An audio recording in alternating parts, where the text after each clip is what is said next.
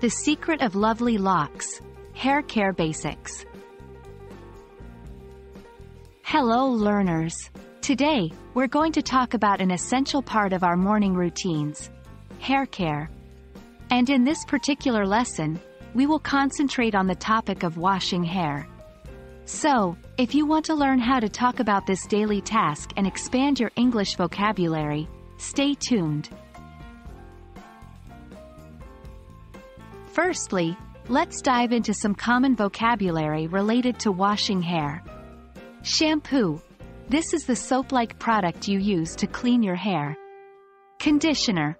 After shampoo, some people use a conditioner to make their hair smooth and shiny. Scalp.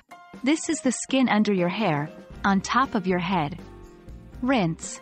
This means to wash something with water, like washing shampoo out of your hair. Lather.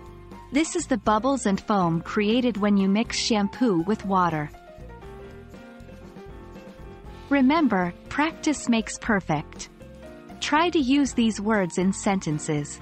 Like, I rinse the shampoo out of my hair. Or, the conditioner makes my hair smooth. When talking about washing hair, there are several phrases you can use. Here are some examples. 1. I usually wash my hair in the morning.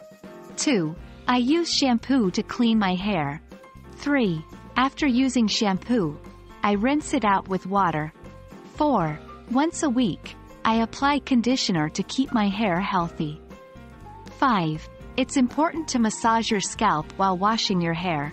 Remember, the verb, wash, is often used in the present simple tense when talking about routines or habits.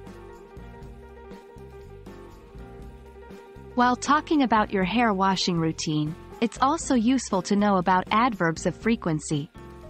These are words like always, usually, often, sometimes, and never. Here's how you can use them. I always wash my hair after a workout. I usually use conditioner after shampoo. I often massage my scalp while shampooing. I sometimes skip washing my hair if I'm in a hurry. I never go to bed without rinsing the shampoo out completely. And that wraps up our lesson on washing hair. By using the vocabulary and phrases we've learned today, you'll be able to talk about your hair care routine confidently. Practice using these words and phrases in your daily conversations and you'll soon master this topic. Keep washing, keep learning, and see you in our next lesson.